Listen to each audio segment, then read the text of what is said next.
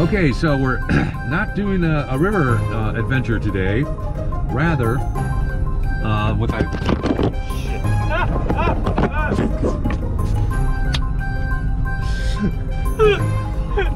We're gonna drive off the road trying to get a good fucking video. um, and this is uh, fellow adventurer Bill. Say hi, Bill.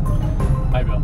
Okay, and uh, weather forecast has been for uh, freezing fog, which I don't know what freezing fog is, uh, along with um, uh, uh, black ice, which is good, um, snow, and so we thought it would be a good idea to uh, drive a little and then trek up to about 2,400 uh, feet and see what's at the top of this mountain. Okay, so, here we are. Uh, more to come. Uh, we're at the base of uh, the trail and getting ready to get some.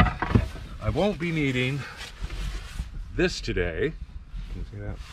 That's a no, paddle. There we go. Because we're not on the river. So we're replacing the paddle with aha a walking stick. So we are now going to get on the trail. Right, Bill? Absolutely. Okay, we're on the trail. It's pretty treacherous. Any slight move and we could plummet 600 feet to our sudden death. And we'll catch it on video. Wildlife has been really active. We've seen grizzly bears, uh, mountain lions, and Canadian geese.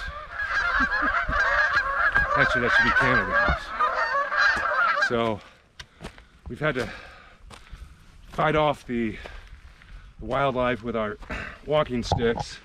Good thing we brought them. And now we are climbing to the summit on almost a straight 45 degree angle. It's, it's pretty steep. I'm standing in, in what is no doubt an ancient Indian rock shelter. You see over here, I think there's some markings on the side of this rock. Oh shit, ouch.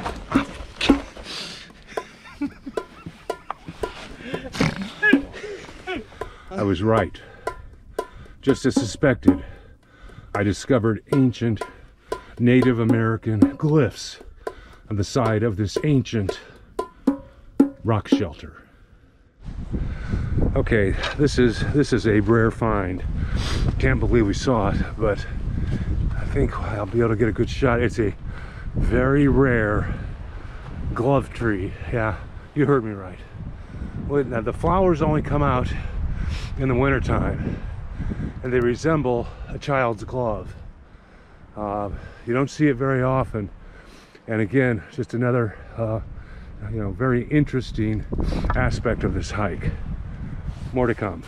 I went a little off the trail, and as you can see in the background, I have discovered an extremely rare species of palm trees that is only found on this side of this particular mountain. These palm trees are an endangered plant species, and um, my guess is these are the only ones left on this planet of their kind. It's been a very fortunate day.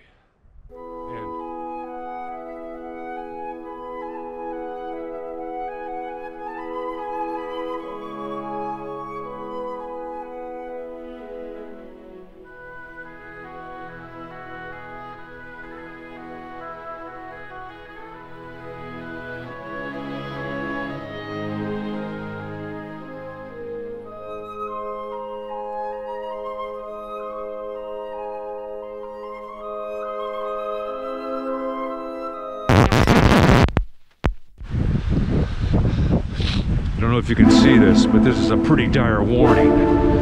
200 foot falls ahead. Fatalities have occurred. Use extreme caution. Wow, I don't know what to expect. Well, damn, Bill. That sure hell looks like a lot of fun. It's just great big old silly little slip and slide. Hey, let's go back up top, get ourselves some Jack Daniels, and we'll just come on down. Well, yeah, yeah. Uh-huh.